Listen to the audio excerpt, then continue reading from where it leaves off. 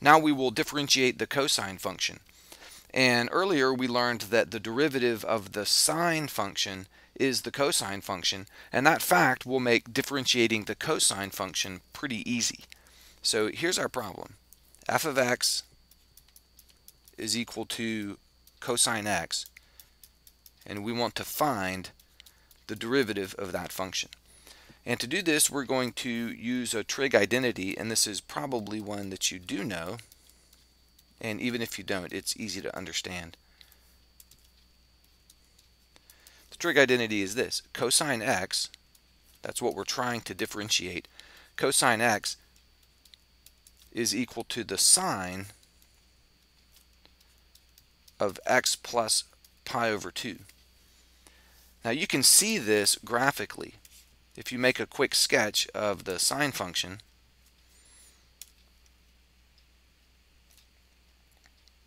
which looks something like this, approximately. So this is pi here, and pi over 2 is right there.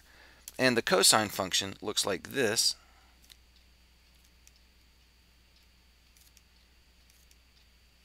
approximately, you should be able to see that if you take this sine function right here and shift it left pi over 2, what you get is the cosine function. And that's what this is. This plus pi over 2 in the parentheses there, that is a left shift of that much, pi over 2. So the cosine function is sine of x plus pi over 2.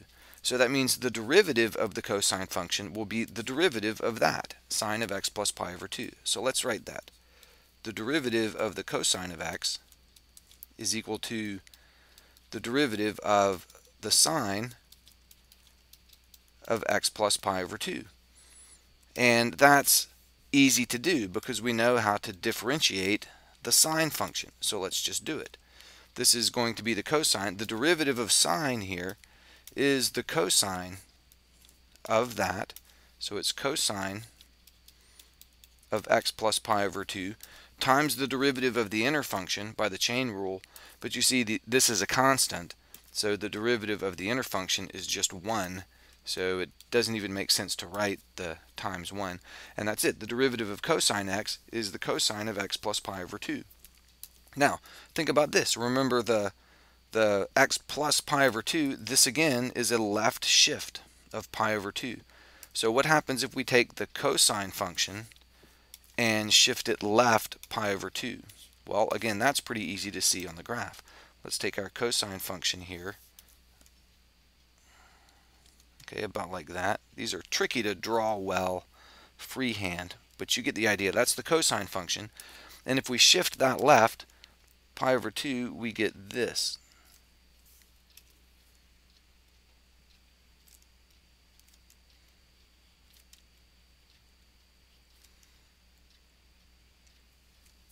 And you might recognize that. That's the cosine function, and when we shift it left pi over 2, we get the negative sine function. So the derivative of the cosine function is the cosine function shifted left pi over 2, which is the negative sine function. And there you have it. The derivative of cosine x is negative sine x. So here's a summary of what we have so far the derivative of sine x is cosine x. And the derivative of the cosine x is negative sine x. So take note, we differentiate sine, we get cosine. We differentiate cosine, we get negative sine. Now what's going to happen if we differentiate the negative sine function? Now this ends up being really easy. The derivative of negative sine x, this negative sine x can just be thought of as negative 1 times the sine of x.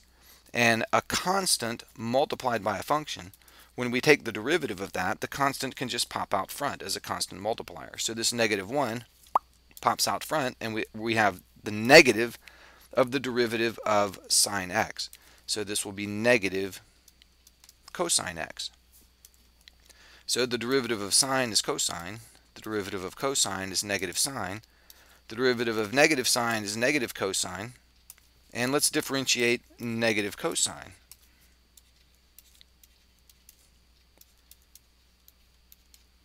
Well, again, we know how to differentiate the cosine function. This negative sign just pops out front. And so we have the negative of the derivative of the cosine.